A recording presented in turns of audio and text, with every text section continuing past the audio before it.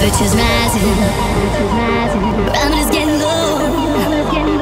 According to our sources, the streets the place to go.